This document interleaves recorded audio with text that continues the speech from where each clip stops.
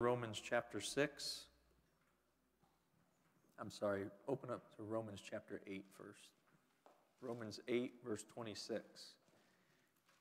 You can keep your Bible handy tonight. We'll just read a set of scriptures and then let you be seated. And then um, just like to go through uh, Romans a little bit together. And if you would keep me in prayer next week, I've got a little sinus surgery that they're going to do to. Um, I kind of laugh because as big as my nose is, um, I don't breathe too well out of it. So they're going to go in and try to help that. So um, just pray for me and and uh, I, I, don't plan on staying away. I, I, will have to miss a couple services there at the beginning, but um, they tell me I look like I got busted in the face. So if you see me, just um, question Tiff. Romans 8 26.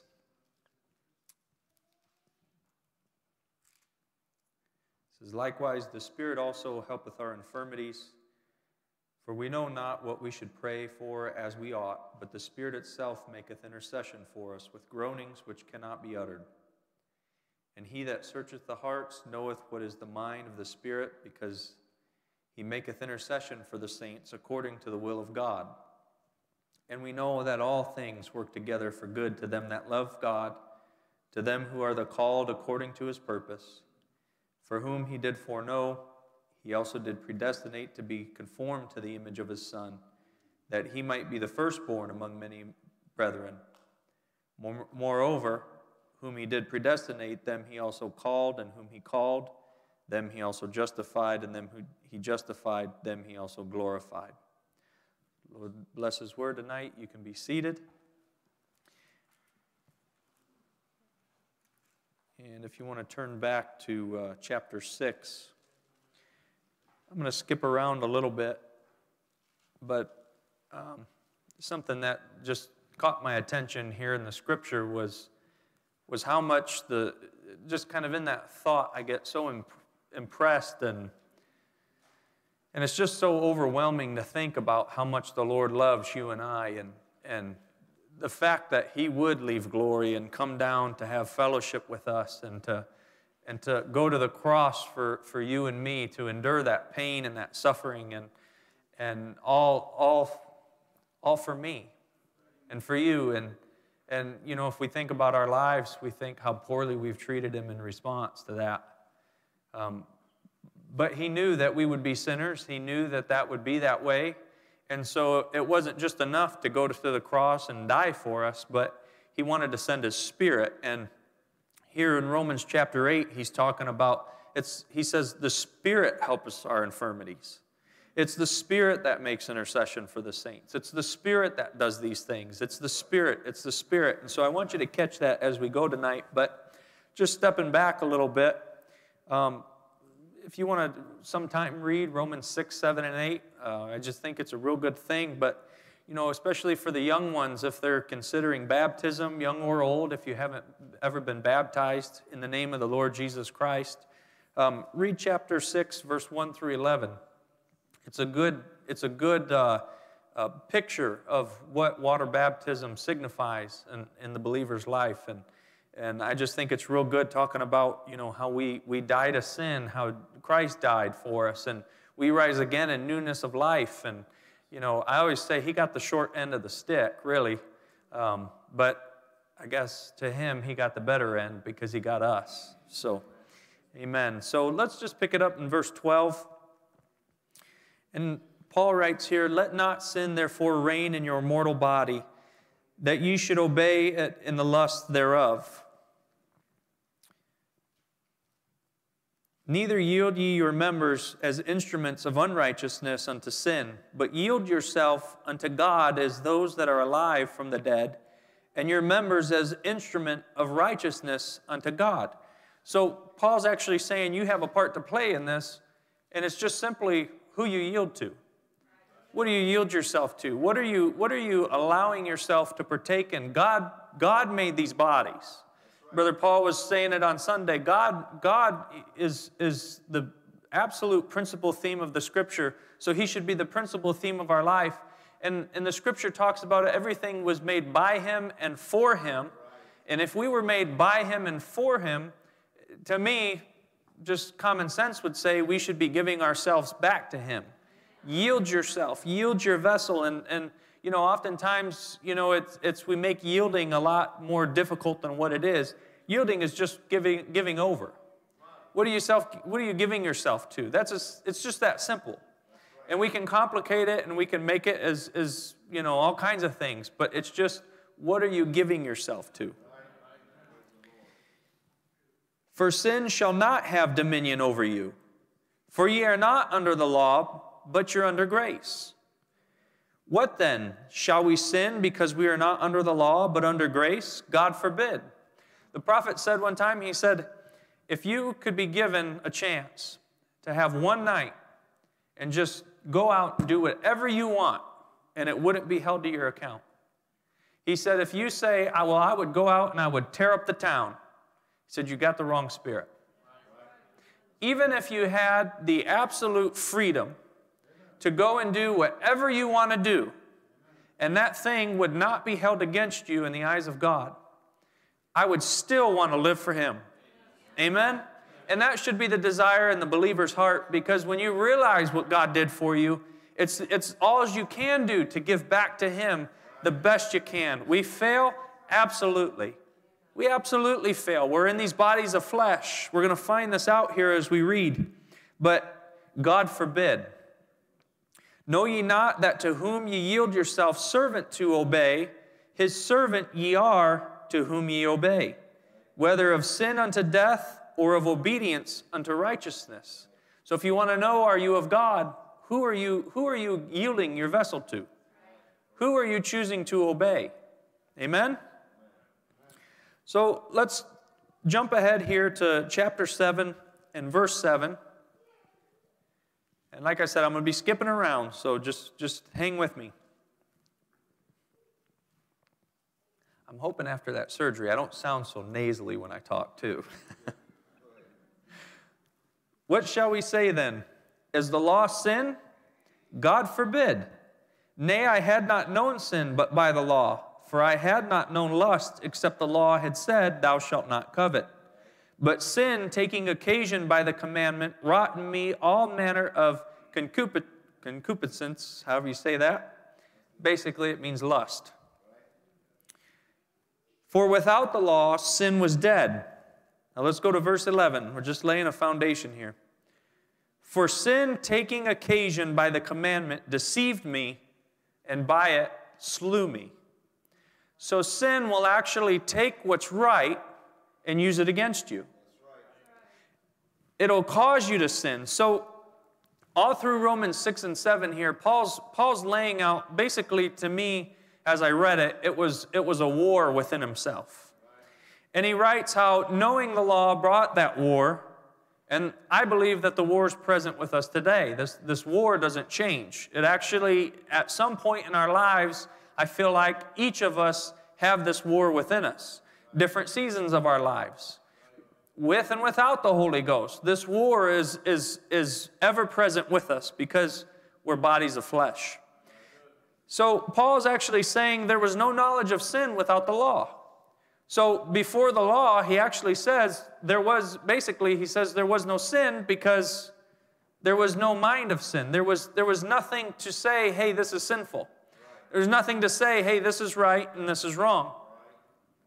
It was just, I, I, just love what, what that, that revelation that Brother Paul brought on Sunday that, you know, Adam and Eve didn't need to know right and wrong. That was all in God. And that took care of it all. But then man wanted a part to play, and so God gave us the law, and in comes the, the, the, the sin, the, the good and evil. So before that, there was no knowledge of it which is why the law is what condemns us to death, and yet exposes sin as the death causing, life ruining attribute of the devil that it is. So it's almost like a double edged sword to it. You know, there's, there's, it seems like, well, there's a good side to the law, and then it seems like, well, there's a bad side to the law. So, you know, really, you know, you could in your mind say, well, then let's do away with the law. Well, that's not the right answer either. you get in trouble. Paul writes that the law has no power in and of itself and is what makes us miserable when we know it by letter but without the Spirit. So many sit in churches for years, including message churches. I had even message churches, and I thought, I'm not trying to sound snobby. You know, we're not, well, even message churches. No, any church, doesn't matter who you are, you're sin born flesh. I don't care what church you sit in, I don't care what the name is on the door, I don't care what preach, what's preached in that church, you're, you're sin born flesh. So we can sit in the churches, and, and oftentimes as young people, we do. We sit in church, we hear the word, we hear the, the pure, revealed word of the hour, and we sit there and, and it makes us miserable. Because we're hearing the word and you start, you start hearing the things, it's, it's, it's just a letter that condemns and tells you what you can't do.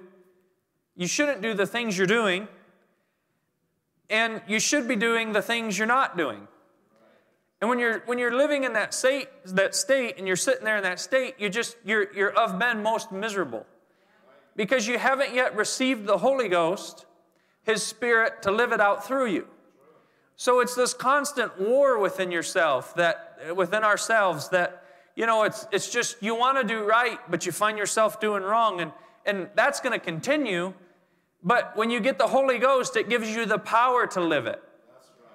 And it, and it gives you it gives you understanding of all these things. It, it, it, it's not easy, but it, it makes more sense. Amen? When you have just the law, just the letter of the law, it's, it's just the, the, the blood of bulls and goats, and it, it could never actually take away that guilt of sin. And so you have that hunger and you have that desire for sin and to, to do the things that you ought not to do, and, and, and oftentimes you're yielding your vessel to it. But when you get the Holy Ghost, it says, no, it's, it's not the letter that's saying it's wrong, it's the Spirit of God that's saying it's wrong. And it's, it's the Spirit of God that'll say, hey, don't go there, don't do that, don't touch that thing, because that's going to burn you, that's going to hurt you. The difference between the two groups is the people you know, you, you, you, you'll, you'll sit there and you'll watch and you'll, you'll hear testimonies of people living a victorious life. And, and sometimes as you sit there, you're, you're, God's dealing with your heart and you're desiring that victory. That victory. You, you want to see that victory in your life. And what's the difference? It's the Spirit of God. It's the Spirit of Christ. You know, it's, I was thinking, uh, I was thinking about uh, just a visual of this, you know, don't, don't touch that and, and what that is. And we built some uh, flower boxes at the house, and the neighbor has a horse, and, and uh, I, I'll, I'll, just step out from behind the pulpit. I hope it's okay to say poop. but we went over and we got the, got the horse manure, and we, we brought it back. And, you know, you can't say manure to the kids because they don't quite understand that. So, you know, Joey's right there and he's helping me, and, and I'm shoveling it out and things, and one just kind of rolls off to the side, and Joey's looking at it. And I said, Don't touch that, son. And he's looking at it, and I said, Joey, don't, that's yucky, don't touch it, you know. And he looks at it and he says, That's the poop? And I said, Yeah, that's, that's the poop, don't touch it. And so he bends down like this. I said, Joey, don't touch that, that's yucky. And he's looking at it, he's looking at me, and I turn my back for two seconds, and I turn around, and what's Joey doing? I said, Joey, now you gotta go wash your hands. but it's, you know, it's, it's like the Holy Spirit does for us. He says, that's, that's, don't touch that. Don't pick that up. Don't touch that, that, buddy, that, that stove, it's hot. Don't touch the hot stove. You're gonna get burned. And it, it's like it's like the poo. You got to touch it. You got to find out for yourself. and then you get burned. But you know, we, we take that as a, as a child, but you know, we all we've all done it. We all do it. You know, that, that warning that is such a sweet warning of the Holy Spirit that says, don't go there, don't do that. You know, and, and, it's, and it's like, and I've said this before here, so I don't mean to sound like a broken record, but you know, I've had it in my life when, when even before temptation comes, the Holy Spirit's there to warn you. And, you know, so you're sitting there and all of a sudden something feels different. And you think, you know, it just makes your, your, your spiritual senses start tingling, you know. And, and then all of a sudden the temptation hits. And, ah, okay. So now I know what that was. The Holy Spirit was warning me that this was coming. It, eh, you know, really, it's, it's kind of cheating. It's like, it's like giving you the, the answer to the question before the question comes, right? The Holy Spirit does that for us. Oh, how He loves us. Amen? But this is, but this is what the devil does, is he, he entices and he tempts you until you sin. And then he'll, he'll use the word of God and he'll condemn you to hell by it. So he's the one telling you, do this, do this, do this, putting that temptation on you. And then you do it, and then he's right there to say, oh, buddy, you know, you're going to go to church tomorrow? You just did that last night, and you're going to go to church? You're going to sit there and try to worship and, and, and pray? You're going to pray to God? And God's the one saying that, He said, ask, confess it, and I'm faithful and just to forgive you. It's, he's given us all the answers already. He's, he, he set this up so beautifully that you have to win. He's so determined. And, that, and that's why he sent his spirit. It wasn't good enough just to have the law, but he sends the spirit of the law so that we can live it. And you know, as I said, we don't do away with the law. Just, well, just forget it then. That's not the answer. If I go as far as I can away from it, I'll feel better. But that's not it. That's not the right approach. Paul actually goes on to say that the law is good. Because, like we said, you wouldn't know that that was wrong unless there was the law. So, I don't want to keep uh, beating this, but hopefully I'm laying the foundation. The problem of it lies in the old sinful nature. So Paul, Paul writes about this and he gives us a key. And verse chapter 7 verse 14. You got your Bibles with you? All right, we're going to we're to be turning looking at them quite a bit. Why is there such a battle in ourselves? What is it? Paul writes, "For we know that the law is spiritual, but I am carnal, sold under sin. Born in sin, shaped in iniquity, we come into the world speaking lies. You were, you were sold into sin. Adam gave up his rights. That's, the fall came through Adam and Eve, and that was, that was selling the birthright, so to speak. So now we, we know that the law is actually spiritual, but we're the problem. It's not the law. Paul says we're the problem. It's this old sinful carnal nature.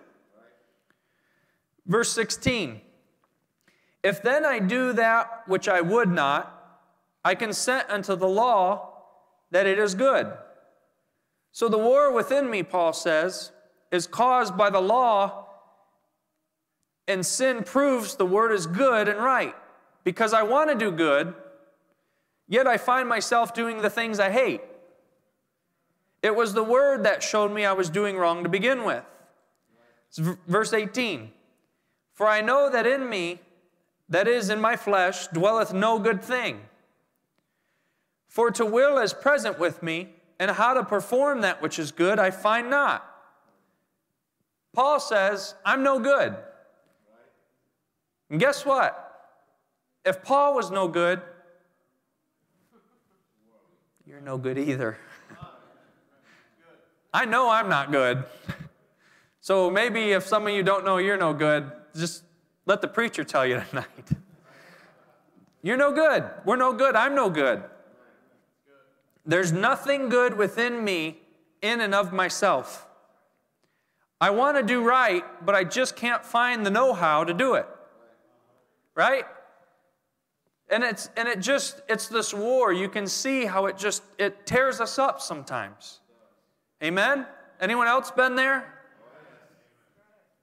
Anyone else been there even with the Holy Ghost? Amen. Now we come to an important separation here, though. and why we shouldn't walk away from the word because of this war we feel. Let's read uh, verse 20 to the end. Chapter 7, verse 20.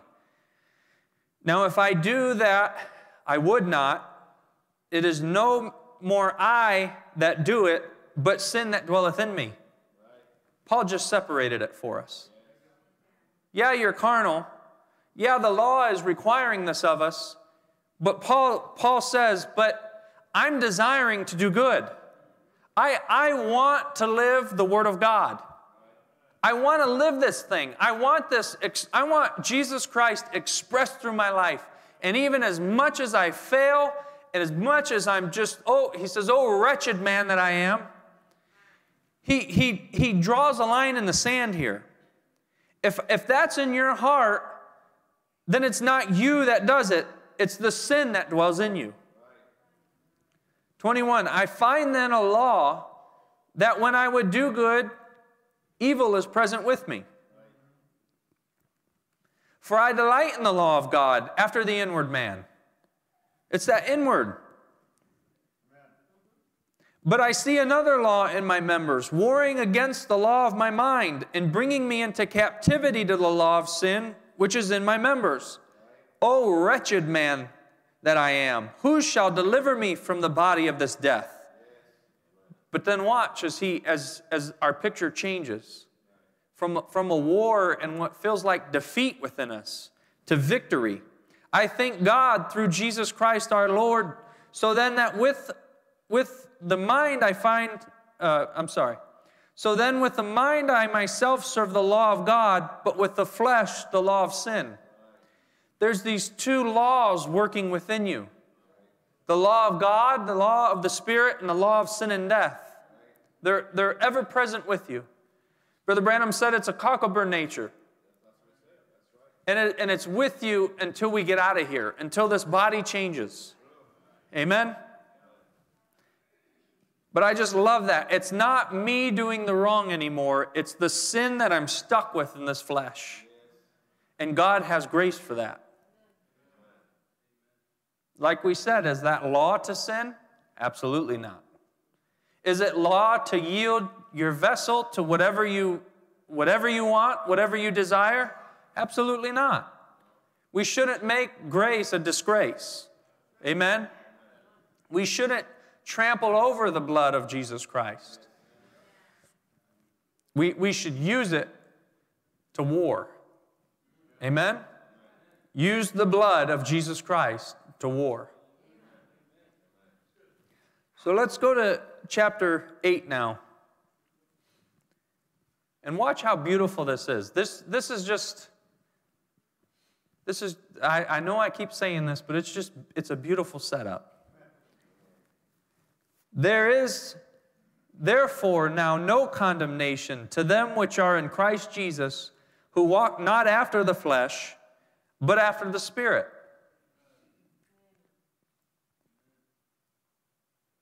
No condemnation. How? Because the desire on the inside is to do right, to do the will of God by living out the Word of God. Our opening scripture said, He that searches the heart if he searches the heart, then he sees the desires to do right according to his word. And that's what he's looking at. It, it's like it's like he just says, I have an understanding. I understand what you're going through. But I'm, I'm not going to look at that. I'm going to look at this. I'm going to look at your desire. Blessed are they who hunger and thirst, for they shall be filled. What's a thirst? It's a desire. The young people laughed at me because uh, one time I was talking about courtship and things, and I said, you know, you get a young girl or a young guy, and, and you know, they're thirsting for something. They're thirsting for a mate. And they all just thought that was hilarious because thirsting after a man or a woman, it just sounds funny. So, so it's a desire. Verse 2 For the law of the Spirit of life in Christ Jesus hath made me free from the law of sin and death. So these laws are warring within us, and yet there's a law in Jesus Christ that Jesus brought by going to the cross, by dying on the cross, and giving his spirit back to us that really, I want to say it overrides the law of sin and death. Does that override your will? No, it doesn't. It gives you power to override the law of sin. It gives you power to override the temptation in your life. Amen? It gives us victory. So, verse 3 For what the law could not do, in that it was weak through the flesh, God sending his own Son in the likeness of sinful flesh, and for sin condemned sin in the flesh. God took care of it.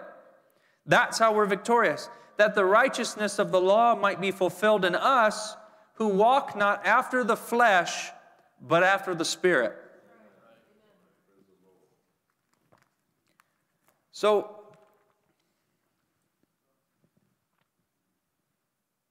this is, this is what grabbed my attention when I was reading the scriptures. Are you okay with a Bible study tonight?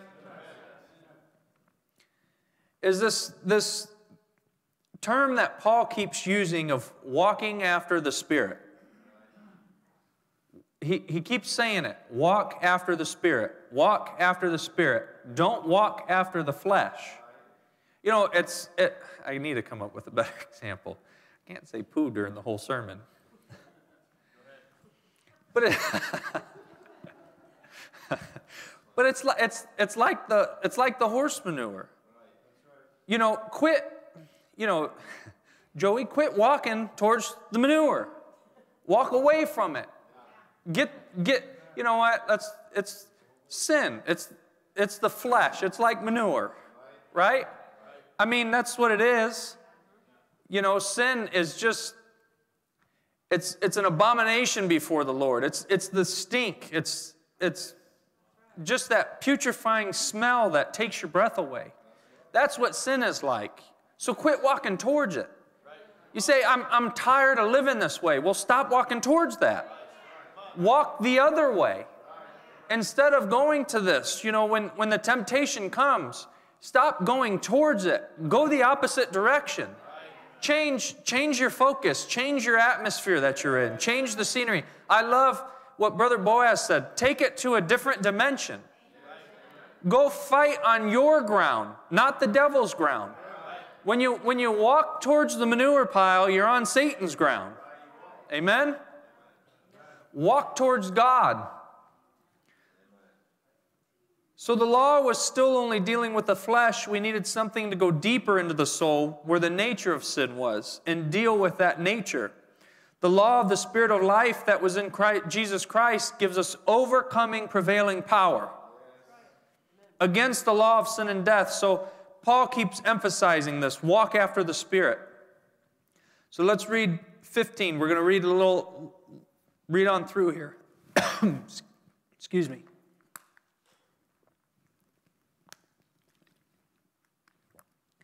For they that are after the flesh do mind the things of the flesh, but they that are after the Spirit, the things of the Spirit.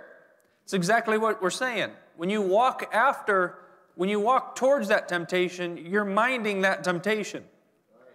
You're, you're being obedient to it. You're giving yourself to it. But he says, walk after the Spirit. When you're, when you're not, I'm not talking about, you know, that, that saying, you're so heavenly minded, you're no earthly good. I, I'm not talking about something like that, but I'm talking about an overcoming prevailing power. Walk after the Spirit. You know, think on the scripture, get into the word.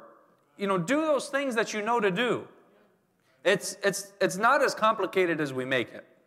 Amen. Usually, when we make it complicated, it's because we're wanting to go play in the manure. Right? This is a terrible sermon. For to be carnally minded is death. This is why.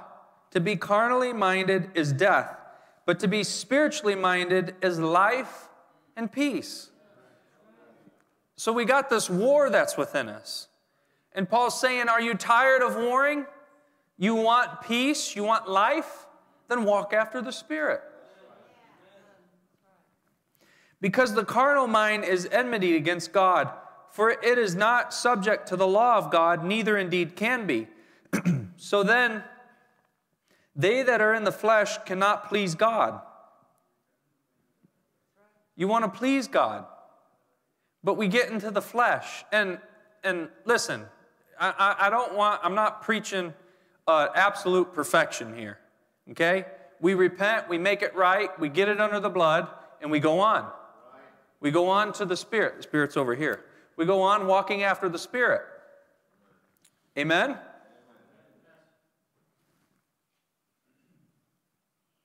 But, you know, I thought of this today too. Sometimes we give ourselves permission to get into the flesh. Well, they treated me wrong, so I'm going to fly off the handle at them.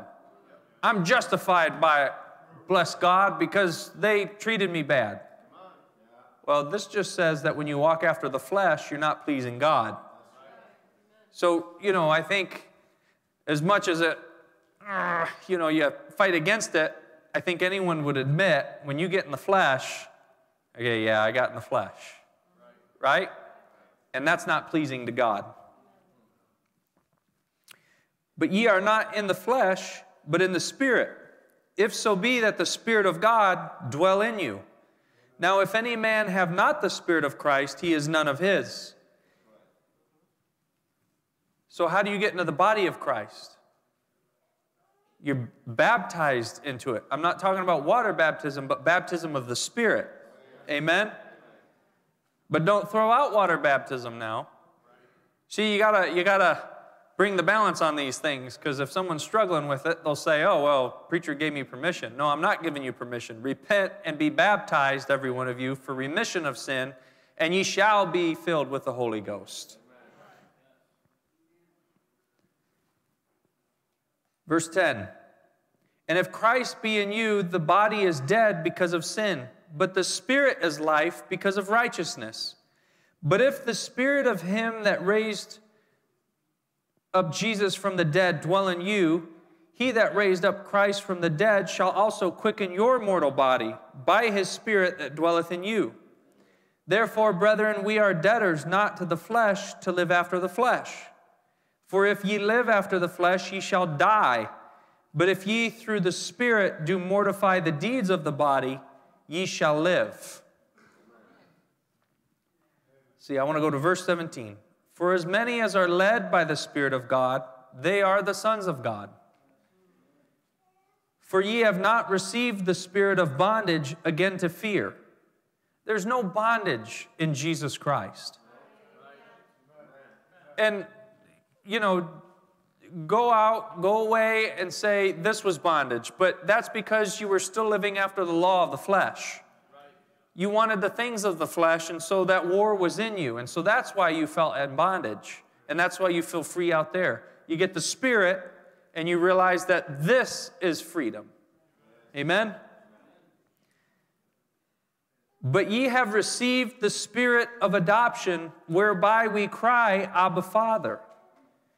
The Spirit itself beareth witness with our spirit that we are the children of God. I love this scripture because when the minister's preaching, regardless of how sinful you feel, your heart, something that the minister is saying is connecting with your heart. It's resonating on the inside that this is truth. this is how I want to live. This is how I want to be. Right here, he says, the Spirit itself bears witness. That's the Spirit bearing witness that you are Jesus Christ's. You belong to Him. You might not be where you want to be. You might not be uh, living like, like uh, the, the next brother sitting next to you yet. But we're all at different stages. We're all growing into maturity. Amen? So keep, keep walking after the Spirit. Attend to the things of the Spirit because as you attend to it, as you, as you feed on the things that are spiritual, you gain spiritual strength. You start growing in the Spirit. Amen? And if children, then heirs. Uh, did I miss 16? The Spirit itself bears witness. Okay.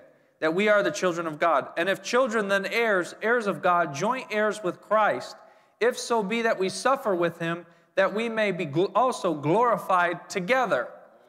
Your, your, that, that spirit that's connecting with your spirit, the Spirit of God, that's you, it, it opens you up. It's saying you have availability to everything that Jesus Christ had.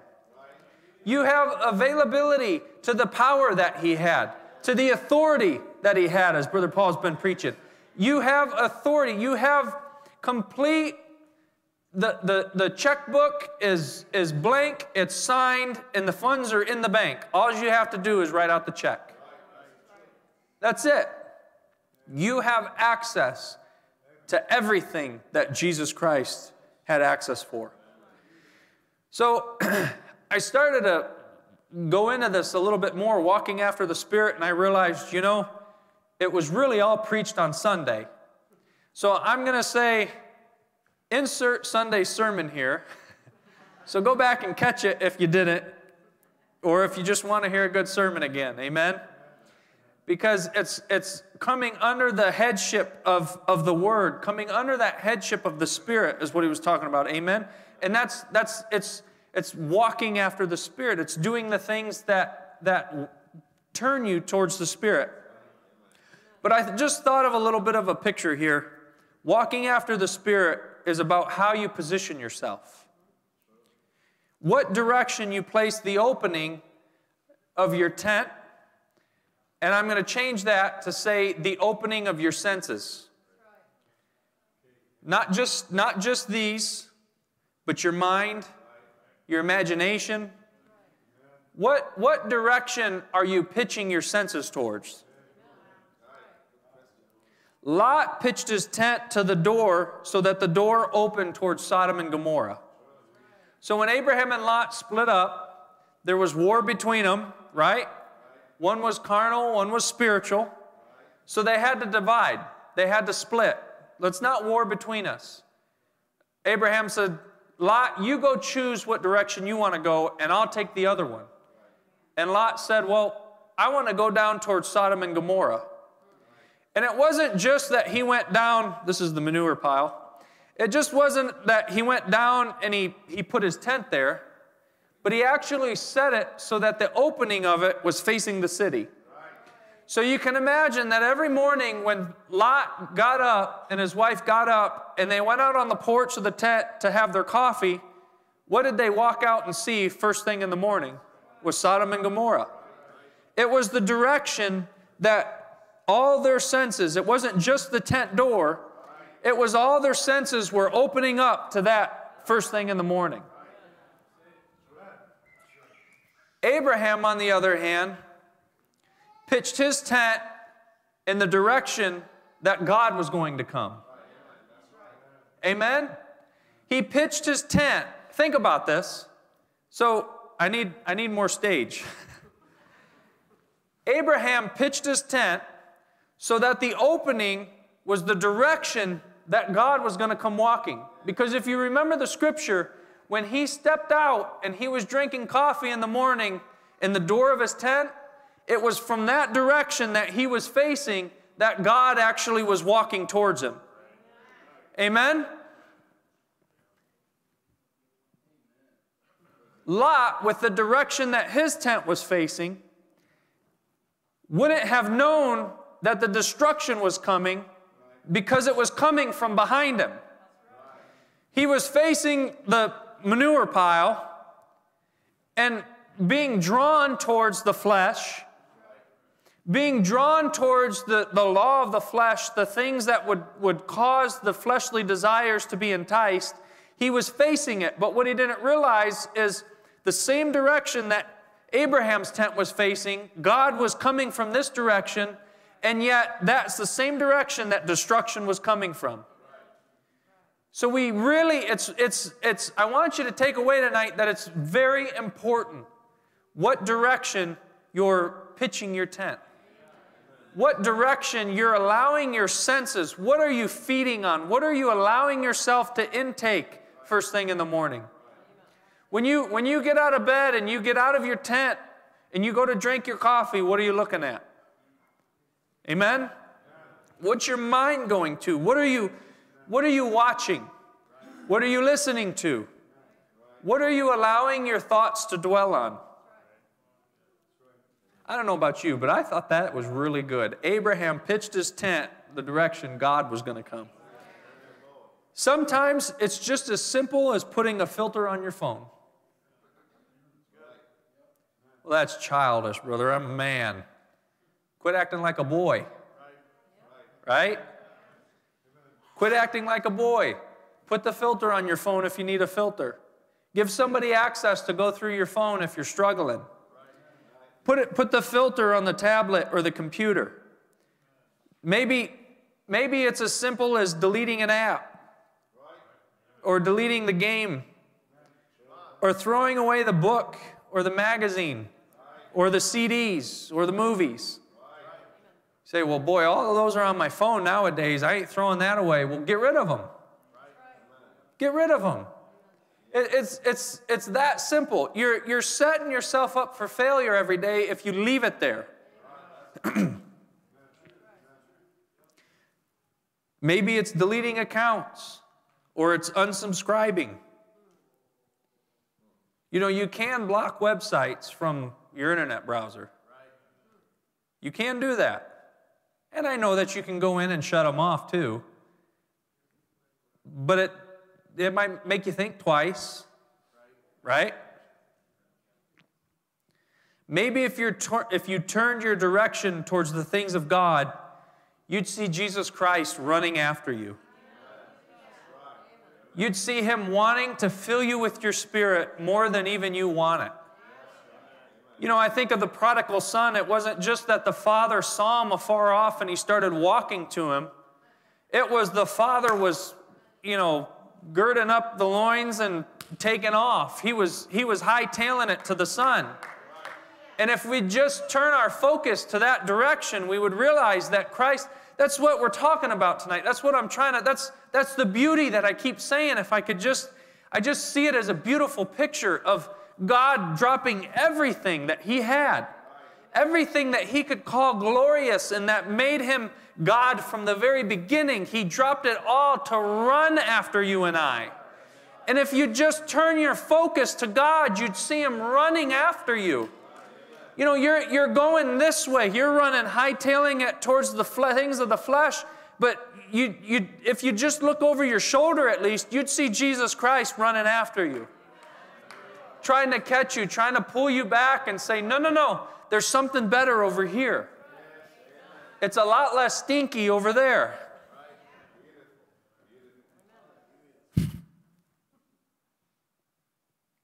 So let's open up, go to James 1 and verse 5.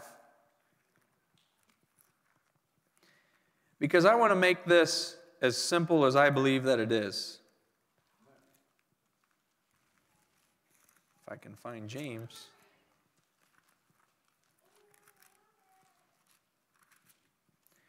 James 1 and verse 5. If any of you lack wisdom, let him ask of God, that giveth to all men, say it with me, liberally, and upbraideth not, and it shall be given him. You have need of something in your life? You want the Spirit of God? You want more of the Spirit of God? Ask Him. Because this says he gives it liberally. Not, not just, not just, you know, I ain't got nothing to give you, Gideon. Here. it's not just, here, Gideon. Here, Gideon. God says, no. Here, Gideon. Spend all you want. Won't get you too far, but you can spend all you want. but with God, it'll take you far. It'll take you, it'll just ask Him, and He gives it liberally. Gives you liberally the Spirit. He's wanting to give it to you more than you want it.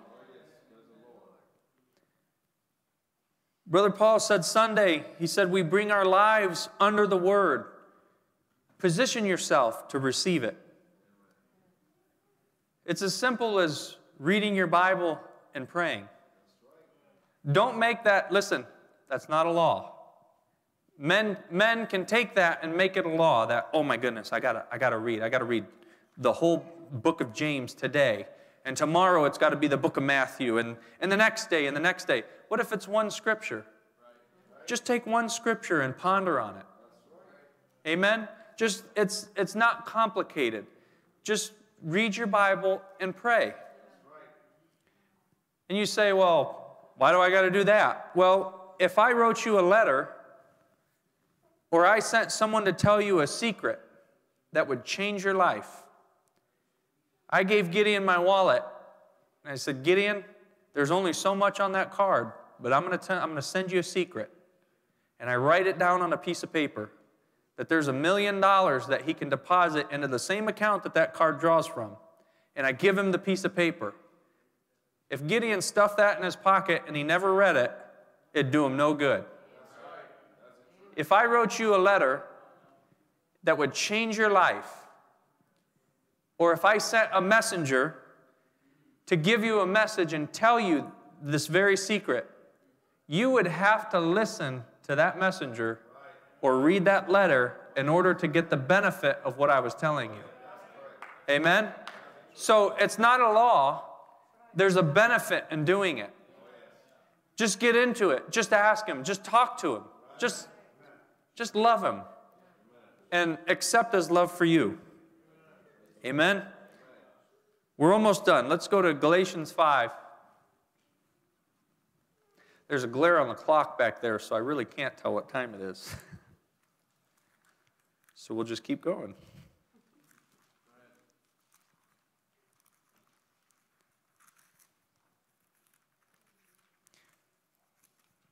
Oh, why can't I find it?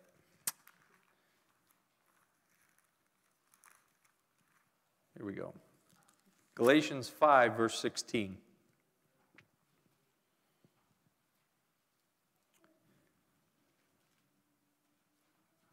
We'll read to 18. This I say then walk in the Spirit, and ye shall not fulfill the lust of the flesh. Paul just makes this easier and easier. You don't want to, you want to get away from the law of the flesh? Walk in the Spirit. For the flesh lusteth against the Spirit, and the Spirit against the flesh and these are contrary the one to the other, so that ye cannot do the things that ye would. But if ye be led of the Spirit, ye are not under the law. How beautiful. Let's skip to 24.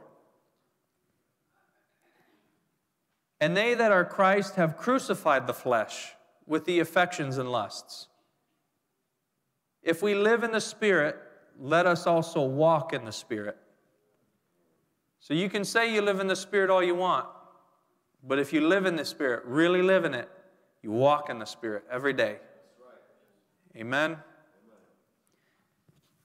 You got those quotes up there? Just a couple of quotes. I'm coming down to a close. Did you, have you gotten something out of tonight? Amen. I'm just going to start reading and you catch me if you can. Did you say what?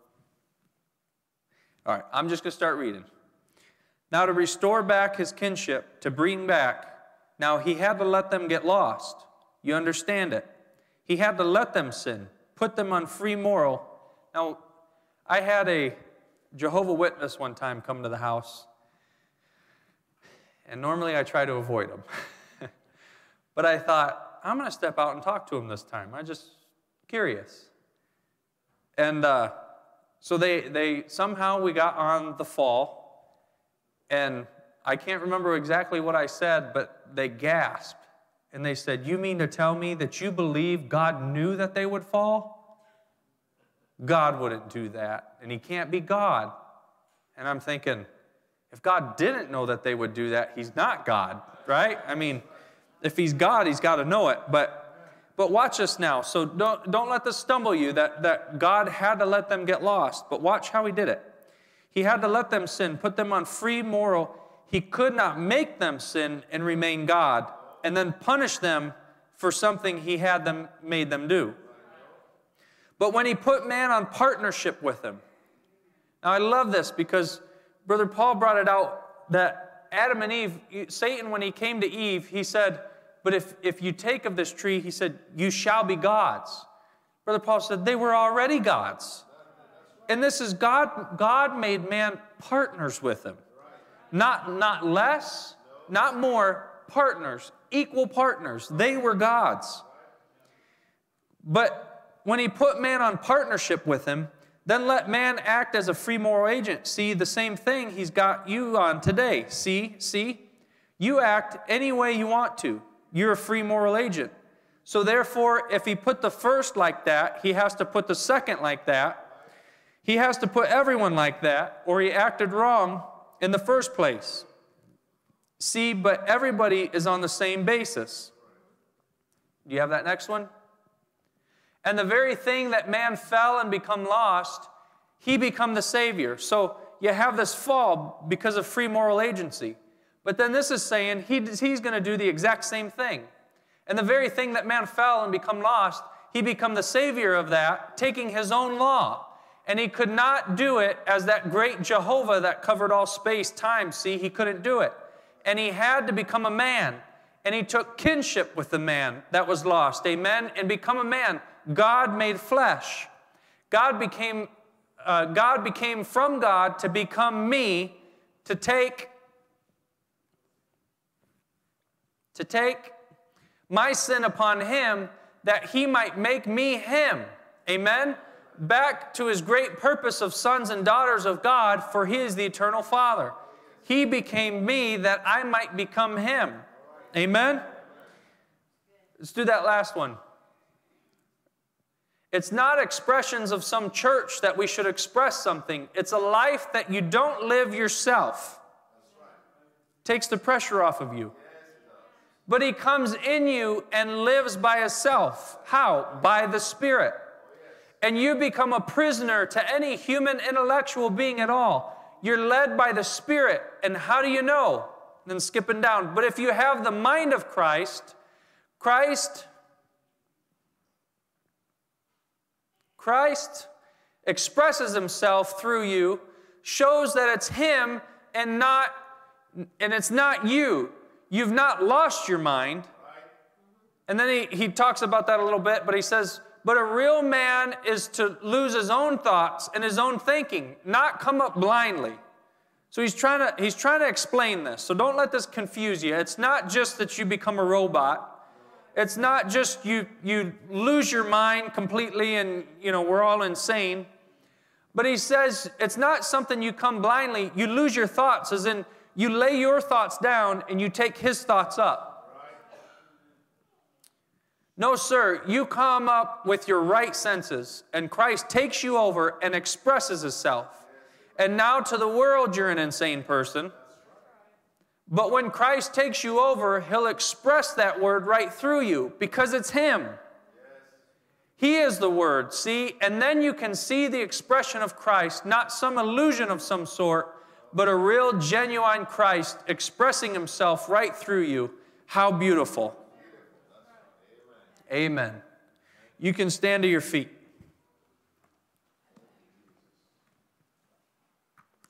This, this war that's within us and it's warring, and we feel it. We feel it at times and seasons in our life. We feel it when temptation comes. What is it? It's that law of sin trying to come back and cause you to war within yourself.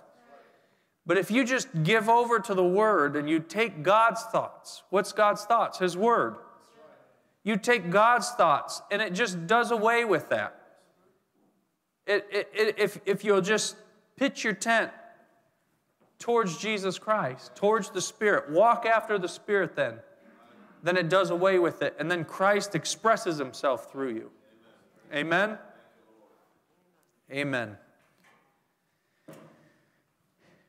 Gideon, I, as much as I want to try to sing, I just can't.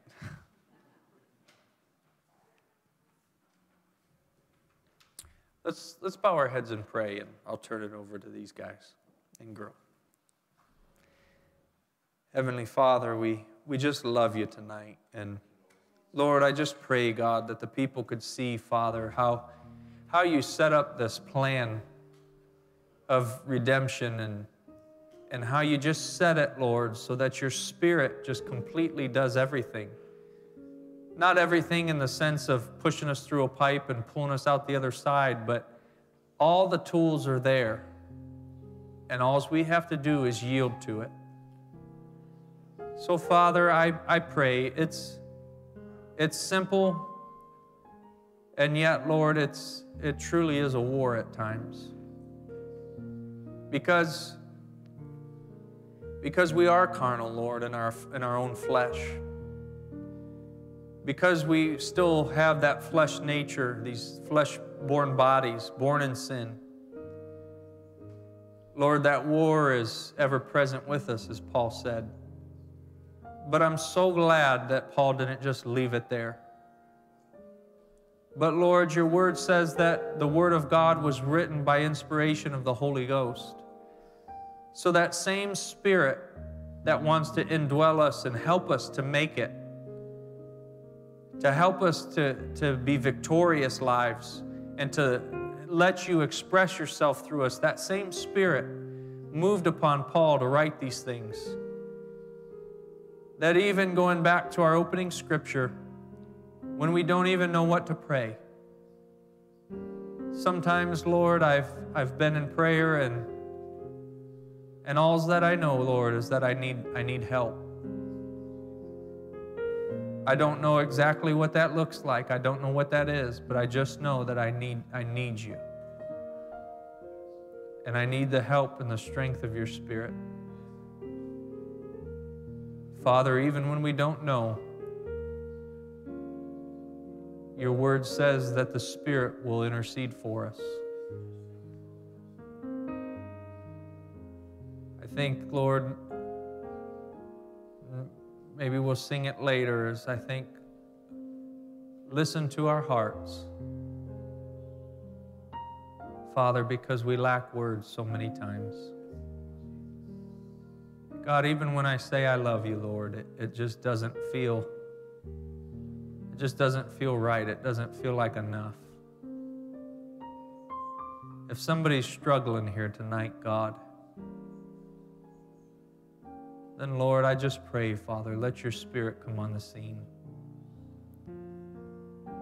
Fill that person, Lord. Maybe they just lift it, lift their hands to you now to let them know that they need you. Lord, my hands lifted, Lord. I need you. I, I want to live, Lord, like Christ lived. I want to. I want to walk after the Spirit. I want the Spirit to lead me. I want the Spirit to take my vocal cords and and speak. I, I want to, Lord, I hope it's not wrong to say, I, I want to see visions, Lord. I want to, I want to lay hands on the sick and then be recovered. But Lord, even more than that, I want to live an overcoming life. Those things are good, but Father, what is it without a life to back it up? I pray, God, that tonight it would be the power and demonstration that was preached. And that you would just take control now of every vessel. We love you, Lord. Help us, God. When temptation comes on, your word promised you'd give, you gave a way of escape. Let us turn to your way, Lord. Help us to just simply yield to you. We love you. Bless our pastor and his family as they're out resting. I just pray that they would come home refreshed and just have blessed memories together. And, and I pray, God, watch over the flock, Lord. While the shepherd's away, Lord, I know Brother Paul would say it's the Holy Ghost that leads the church. So that same Holy Ghost that leads the shepherd, Father, I pray you'd lead us now. So watch over us, Lord. Keep us safe naturally and spiritually until we can meet again. We love you. Lord, let your people be encouraged. I pray they're encouraged tonight. In Jesus Christ's name, amen.